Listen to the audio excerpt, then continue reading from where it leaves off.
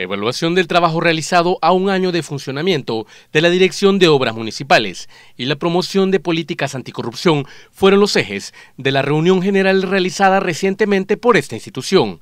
En el encuentro estuvo el presidente de la República. Este día nos estamos, hemos reunido con todo el personal de la Dirección de Obras Municipales para evaluar y revisar todos los proyectos que se realizaron en el año 2022. Estamos hablando del primer año ya de, funciones de la Dirección de Obras Municipales y estamos eh, viendo todos los logros y todos los proyectos que hemos, estado, que hemos realizado a nivel de, todo, eh, de todos los municipios del país.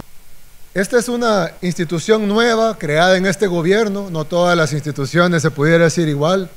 En otros lugares nos ha tocado ir a cambiar estructuras viejas, arcaicas, difíciles. Obirne también hizo un balance de las obras realizadas por la institución en el año 2022. Más de 51 proyectos de infraestructura municipal que, hemos, que estamos realizando, más de 52 proyectos de mejoramiento viales, que son calles de tierra que hemos empezado a pavimentar, y más de 161 proyectos del Plan Nacional de Bacheo, que este es un proyecto... La Dirección de Obras Municipales fue creada con un fondo de 900 millones de dólares provenientes del Fondo para el Desarrollo Económico y Social de los Municipios del Salvador y se encarga de verificar la calificación, contratación y ejecución de obras en 262 municipios del país.